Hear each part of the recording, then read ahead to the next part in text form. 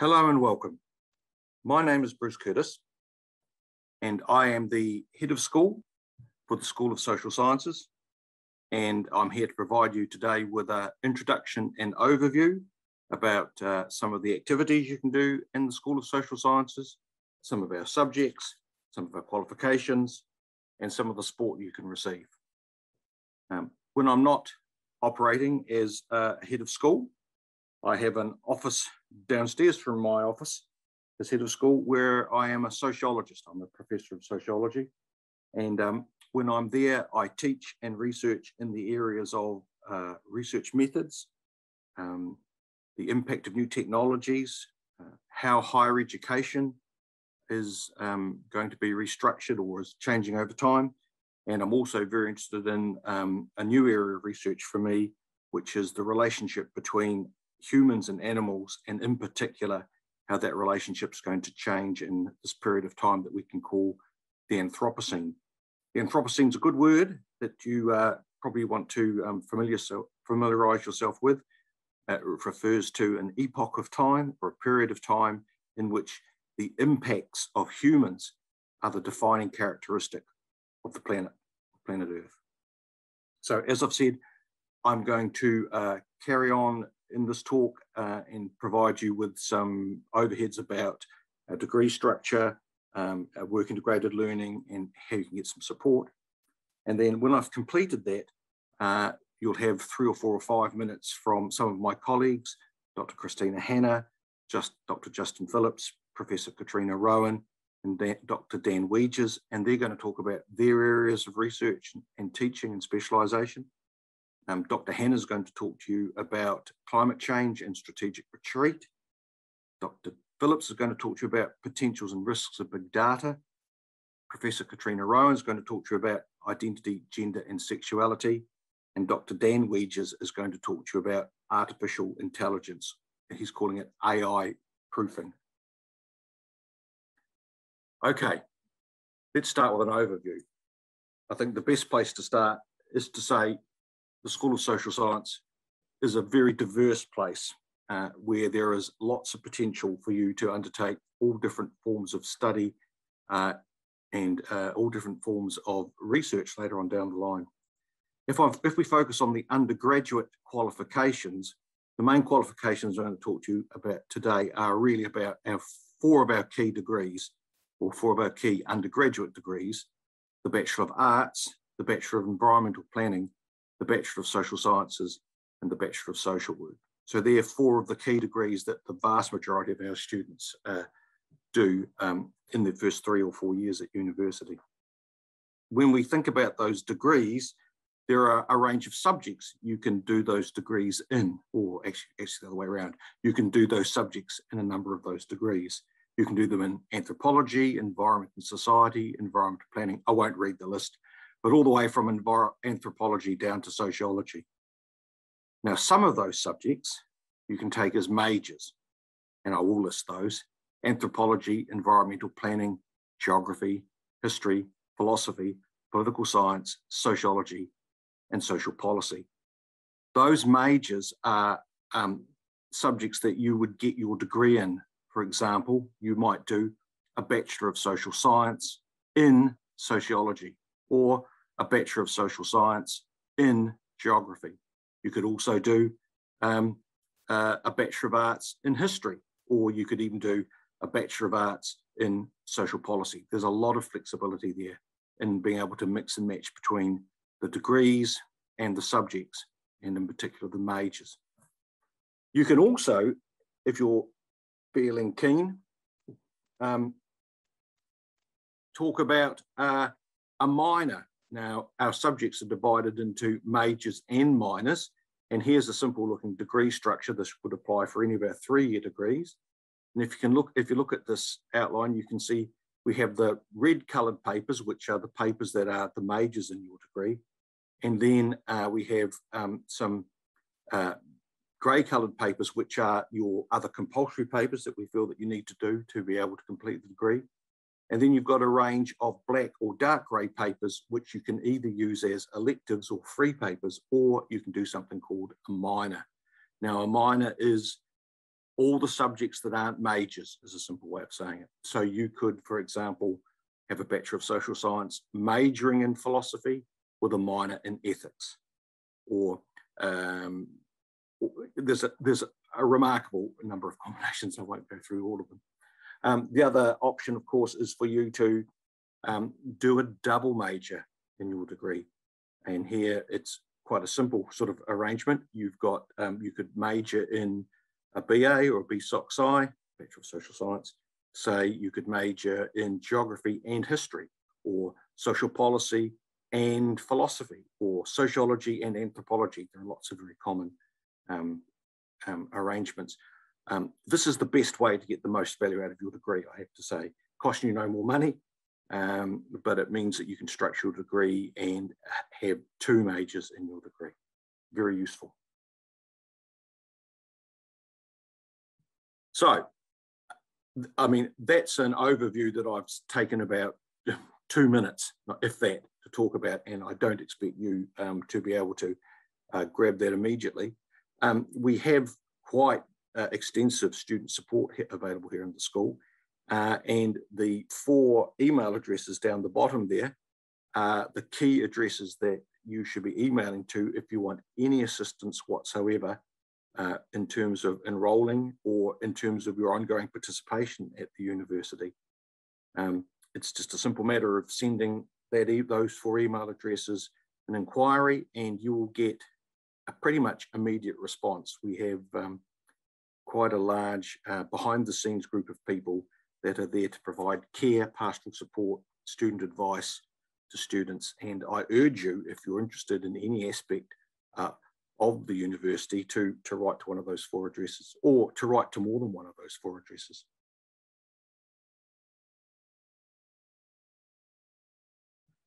So I briefly touched upon the degree structure here, very briefly, of our subjects, which are broken up into majors and minors, and we've got degrees that you can do those majors and minors in. Another thing that we uh, have at this university and that we are very proud of, and in fact, I think we are a New Zealand leader in this, is something that we're calling work integrated learning. Work integrated learning is something that is made available to students in their third year of study.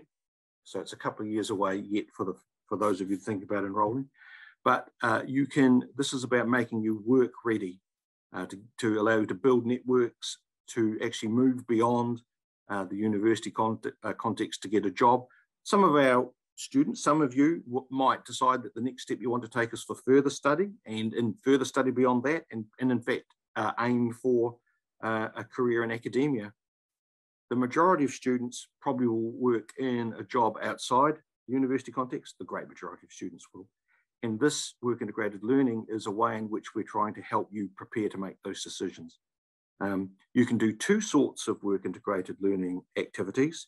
Um, you can either undertake what we call a work placement, where you actually work at the place of work uh, uh, of an employer, and you would work there for around about 100 hours in a trimester. Uh, or you can um, do a project here on campus at the university. Um, both of these options count towards the um, qualifications and the points that you need to complete your degree. But uh, University of Waikato is the only university in New Zealand that offers every one of its students a chance to do work integrated learning. Um, and I think it's a pretty good opportunity. Um, we have a, a, little screen here that says why choose Waikato. I'm supposed hopefully I've ticked off some of these. Work integrated learning I've talked about, a very flexible degree structure. Uh, I haven't mentioned the huge range of scholarships, but they are very extensive. We have uh, quite a few benefactors to the university uh, that have set up scholarships that are available to different sorts of students. And the university puts aside a considerable amount of money to facilitate and help students coming into the university context. Um, and that is really worth ex exploring. And one, they might even be one of the questions that you might ask some of those support uh, people that I showed in the uh, with the set of emails. Um, the other one is uh, award-winning lecturers um, and their world-class education. You're going to hear a bit more about those award-winning lecturers uh, in the sections following me. And indeed, I think you've got four of some of the best researchers and lecturers in New Zealand talking to you after me. It's a great campus and we have fantastic student accommodation and we're building that student accommodation all the time. We're very keen for students to um, come to campus, stay on campus, have a, a great campus experience. It's very much focused about uh, a good university, a good student experience. Um, I mean, I've got a, a, little phrase about why you'd come to the University of Waikato.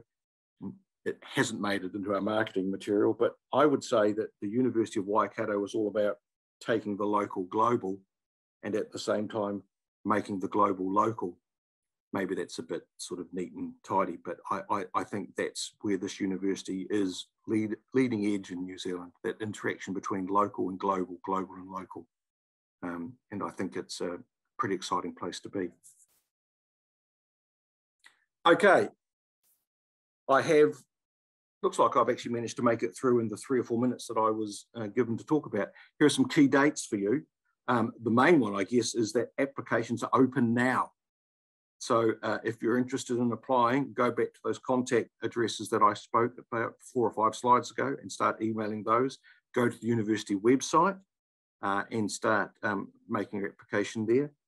Uh, and um, you can see that the uh, applications for the halls are open already, but they're going to be open for another six weeks. So there's plenty of time to make applications if you want to stay in the hall of residence. If you want to make an application for a scholarship, it would be good to do so as soon as possible. Our um, formal closing date for those scholarships is the 31st of August. So um, I would, if you're interested in finding out more about scholarships, uh, you should contact those um, contact emails I gave you earlier on.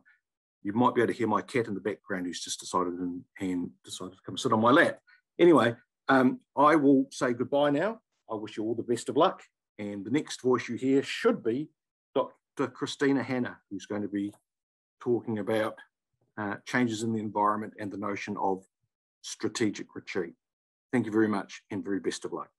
Kia ora koutou, it's Dan Weijers here from the Philosophy Program, and I'm here to tell you that everything you thought you knew about getting a degree in order to get a job is wrong.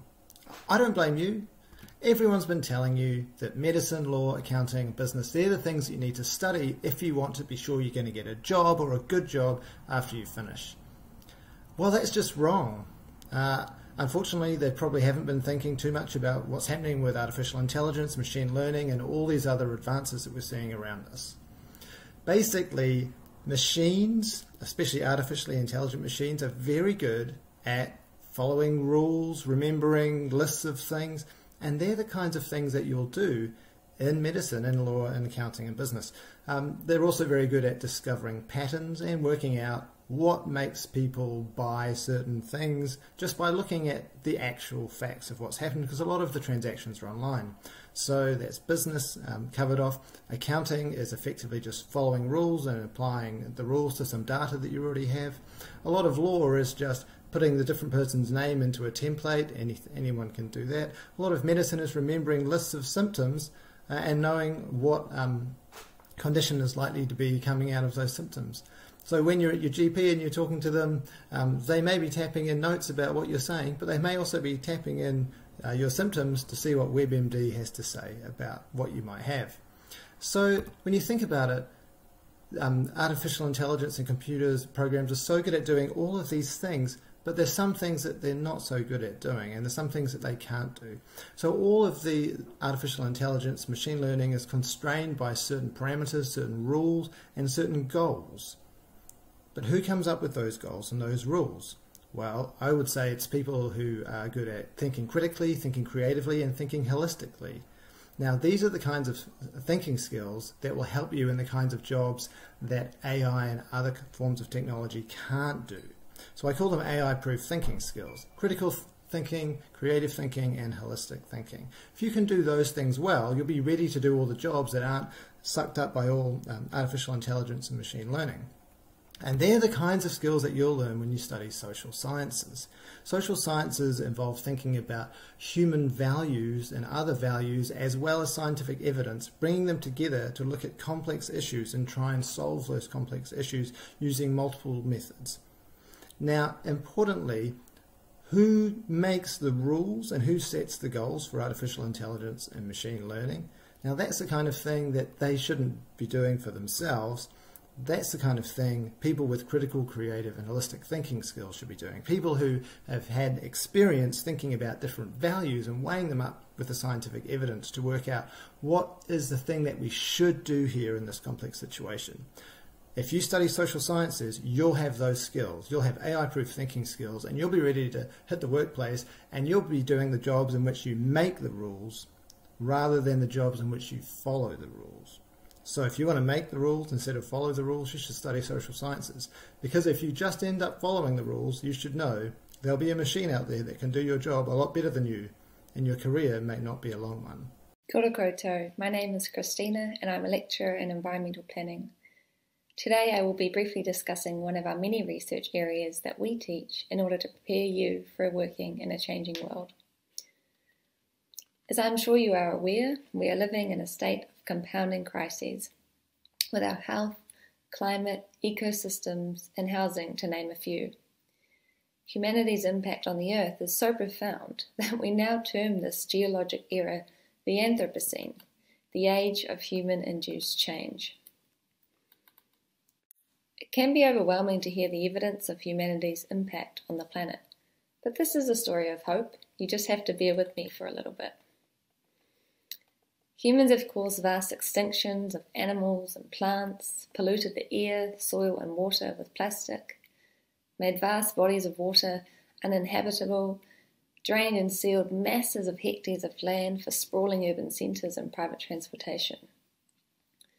Global warming is likely to reach 1.5 degrees above pre industrial levels in the next decade if we continue along our current emissions pathway. Beyond 1.5 degrees of warming, we will not be able to avoid catastrophic impacts of climate change. As environmental planners, we aim to protect, preserve, and enhance the natural and built environments to help address these socio ecological crises from housing to transport, national parks, waterways, and farmland, planners manage how we use and deal with our natural and physical resources. However, for climate change in particular, reducing our impacts will not be enough, as much of the warming is cooked into the system already, and we are having to adapt to a new normal, as you can see on this slide. In Aotearoa, this new normal includes rising sea levels, an increase in floods and droughts, changing wind and rainfall patterns, increased temperatures, and more pressure on our ecosystems. But rather than succumbing to climate doomism, we must use the tools and skills we have available to adapt. Humans, and particularly in Indigenous communities, have adapted to environmental change throughout history. Using our forward thinking, strategic planning skills, we can reimagine the form and nature of our settlements and create opportunities to build resilience into our complex living systems. Strategic retreat is an example of working with rather than against nature. By strategically withdrawing unsustainable development from risky spaces, we can create buffers for environmental change and ensure ecosystems have space to migrate inland as sea level encroaches on coastal margins. Whilst relocating homes, businesses, and infrastructure will require significant sacrifices to change the way we use certain land areas here via retreat, it will reduce future emergency management costs and, in some cases, enable us to restore nature's regulating functions, such as wetlands. Developing climate resilient pathways creates hope for the future, enabling us to create adaptive learning, increase scientific knowledge, and undertake effective adaptation and mitigation measures, and other choices that reduce risk. Strategic retreat is just one of the many ways to adapt to a changing environment and move along these climate resilient pathways. And we look forward to developing your skills to create innovative and adaptive solutions for a more resilient future. Thanks for listening, and if you'd like to check us out on Instagram and Facebook, have a look at Planning, Planning Waikato. Thank you. Kia ora. I'm Katrina Roen and I'm going to tell you about three of the subject areas that you might choose within the School of Social Sciences. Gender and Sexuality Studies is a minor that you can take as part of your degree program. In Gender and Sexuality Studies, we discuss questions like why do schools struggle to make sexuality education interesting and worthwhile for students? If you think back over your years at school, I wonder do you have good memories of sexuality education? Was this topic addressed at school in a way that you found inspiring and informative? In many places, this topic is hardly taught at all. When it is taught, it's often not taught well. Why is this? These kinds of questions open up all sorts of opportunities that we can think about in gender and sexuality studies. For instance, we might explore the implications for how young people are taught about sexuality. What are the consequences in societies where these kinds of topics are simply not taught well? Another example of a question that we address in gender and sexuality studies is how have popular representations of masculinity changed over time? Think about this for a moment. When I say the word masculinity, what does it make you think of? What is masculinity? Is it something we do? Can anyone do masculinity?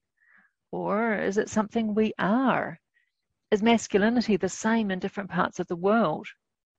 Researchers have examined masculinity in different times and places, and their work helps us to think about the concept of masculinity and how it relates to our day to day lives. In gender and sexuality studies, we explore opportunities for empowerment and social change. We learn about social movements and ideas such as environmental feminism or intersex advocacy. One of the social movements we read and talk about is Mana Wahine, which is a part of Māori or Indigenous thinking about gender, cultural identity, and empowerment. Students who take gender and sexuality studies love the way that this paper makes them think differently about the world around them and about their day to day lives. We have fascinating classroom discussions, and everyone does a project that involves putting some of their new ideas they're learning into practice in their lives. In the School of Social Sciences, you can also do degrees in sociology or social policy. Studying sociology at Waikato, you will learn about how societies work and you'll have the chance to talk about all kinds of social issues with other students in the relaxed and interactive learning environment. In sociology, we are interested in how social justice issues work as well as understanding the structure of society. We focus on thematic areas such as criminology, popular culture, activism and social change. We also teach papers on globalization and on the body and embodiment, for example. If you choose to study social policy, you'll learn about how policy making affects everyone across age, gender, and culture, and you'll learn how to influence policy. Students who study with us love social policy because they get to debate how social problems arise and what can be done to address those problems. Studying social policy opens up a wide range of job possibilities for students, whether you're interested in working for government agencies or voluntary or community organisations, for example. I suggest that you check out the social policy papers we teach on topics like health, welfare, the family, or our papers on addressing precarity or female imprisonment. If you join us studying, whether you choose to study sociology, social policy, or gender and sexuality studies, or any combination of these, you will consider how different groups in society view social reality, and you'll consider how societies change over time. We look forward to meeting you on your journey through study at the University of Waikato.